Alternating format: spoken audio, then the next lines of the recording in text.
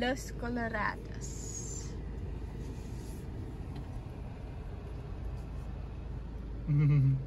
Jak je fajné. Jak čuměju.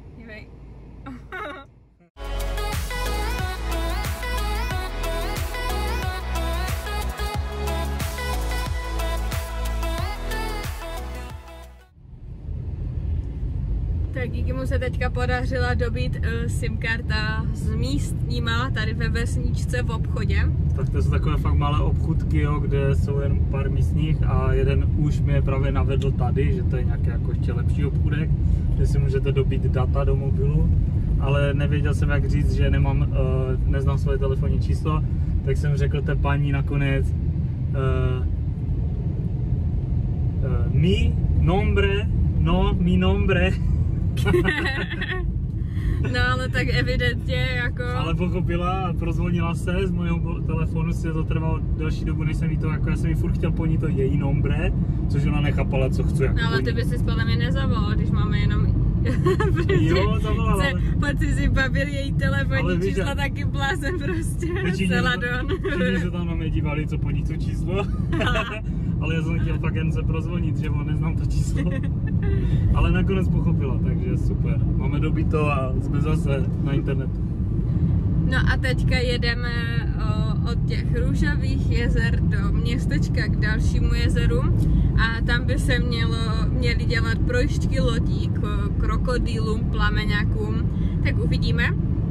A jinak teda vstup je tam tři stovky, no jako je to hezké, ale za tři stovky v porovnání třeba s čítelnicou, kde jsme byli takové čtyři hodiny, tak tady jsme byli tak já nevím, 15-20 minut maximálně. Se nedá vůbec srovnat. Projdete si pár metrů, uděláte si pár fotek, jakože je to hezké, když už jste tady, tak si myslím, že je to hezké, ale museli jsme si vybrat, jestli chceme španělského průvodce anebo anglického, tak za anglického je samozřejmě příplatek. Ale průvodce ve smyslu, že jdete asi 200 metrů po hrázi. Jo. Nic víc, co 200 metrů jako... po hrázi a jako asi uh, k tomu úplně nemá co říct, takže jsme si vzali španělského a teda stalo to těch 300 pesos. No. A co nám řekne, že v té, v té vodě je řasa, co způsobuje, To jsem ti řekla já, takže... je růžová ta voda. Nebo kolik se vytěží tun soli, nebo já nevím. Soukromou firmou, takže kdo ví.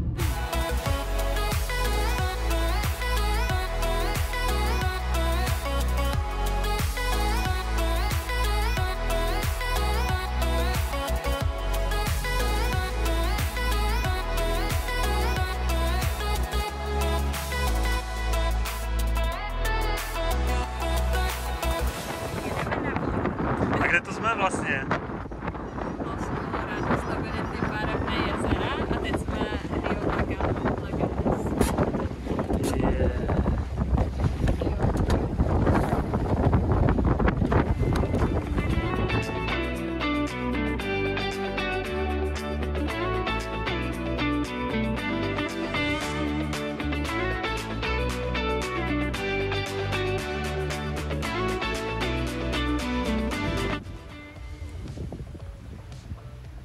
Krasavec.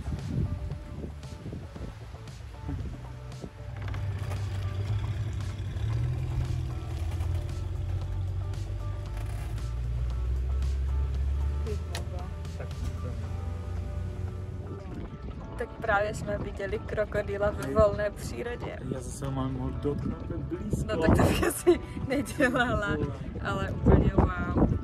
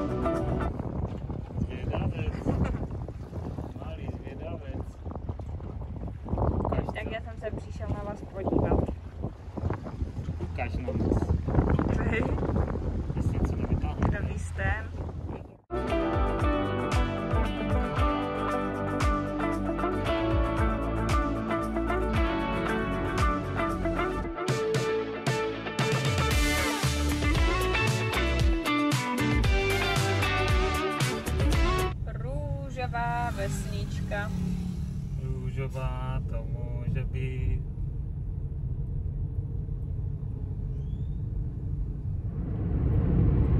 Tak jedeme teďka už domů, máme to ještě kolem 100 kilometrů a jedeme z Los Ne, Rio. Rio La Cartes, Ježíš Maria, že se ty dva názvy pořád tak pletou, to je hrozné. Ale jakože, Byli jsme tam na dvouhodinové prohlí, projížďce lodí.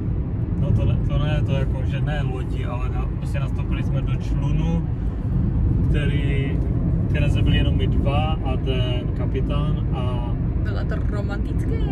a on nás provázel vlastně mezi těmi mangrovovými hájemi a ukazoval nám různé ptáky, krokodýly, no jakože zážitek na celý život, fakt super. Viděli jsme plameňáky, pelikány a krokodily bez blízka a měli se úplně super kapitána. Bral nás jakoby ke všem těm zvířátkům, ale jakoby tak citlivě, nebylo to žádné nahánění zvířat. Bylo tam úplně málo lidí a bylo to A úplně super. Musím říct, že vidět ty zvířata ve svém prostředí volném je úplně jiný level, než to vidět třeba v zoo. Fakt eh, zážitek pro mě na celý život, nádherný. No bylo to úplně super a úplně to stalo za to.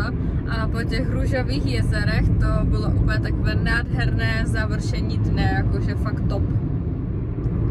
No a teda nabídek jsme měli dost. Začalo to tím, že jsem právě tu projišku hledala prvně na Instagramu a tam mi za to lidi nabízeli uh, 3,5 tisíce pesos, potom jsme měli za 2,5, 1500, pak už jsme se dostali na 1200 a nakonec si myslím, že je úplně nejlepší přijet přímo do toho městečka a někdo, kdo bude přímo tam, tak se domluvit s ním a nakonec to bylo za 1000 pesos vlastně pro nás oba dva. Celá loď. Jo, a byli jsme tam úplně sami, nebyl to žádný hromadný jakoby výlet jak ty předtím. A bylo to úplně nádherné, protože vlastně on se nás vždycky ptal, jestli jakože už to máme odfocené a čekal a bylo to úplně celé po, podle nás a bylo to úplně super. Takže jestli pojedete někdy do Mexika a budete mít zastávku ve Validoru, tak tady tohle určitě stojí za to, to bylo úplně prostě fakt skvělé. Bylo to takový hodně pohodový den. Dneska je zataženo, takže se to úplně hodilo. Bylo A i, jo, i když to nemělo asi úplně takovou jakoby barvičku, jak by to mělo mít, když svítí sluníčko, je modrá obloha, ale to vůbec neviděl, bylo to i tak úplně super. Iggy je z toho nadšený, básní o tom úplně. Jo, to fakt. Však já jsem se toho krokodýla malem dotknul prostě. To bylo No tak to by zase neměl úplně říkat. jakože fakt strašně blízko. To není moc dobrý příklad. Vzali jsme si tady na zkoušku nějaký jejich zajímavý chleba. Stál 7,50. Pak tady k tyhle ty klasické americké mysli. A potom tady máme nějaký jejich dezertík. A vevnitř to vypadá takhle, tak na to jsem taky zvědavá. Tak jdu zkusit dortík, jestli chce to teda takhle nazvat. A zatím jsem zkoušela ten vrch a to je takové úplně ňam. Ňam, to vypadá dobře, jsou tam mandarinky. Mhm. Mhm. No. Už to mi to připomíná Co? Tu teplou Vánočku, co jsme měli v těch Čechách. Fakt takové až? Mhm, to je mega dobré. Mňam, tak to odtedím. Mhm.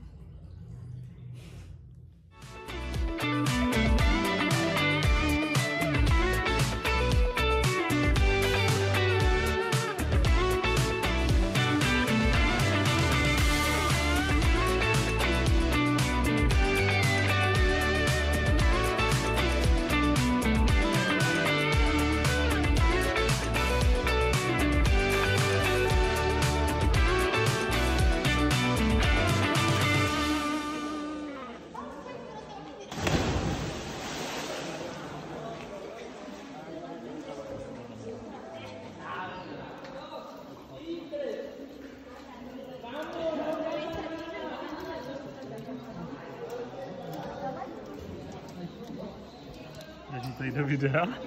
Tak co? Super. Já bych to byl celý den. to je bomba.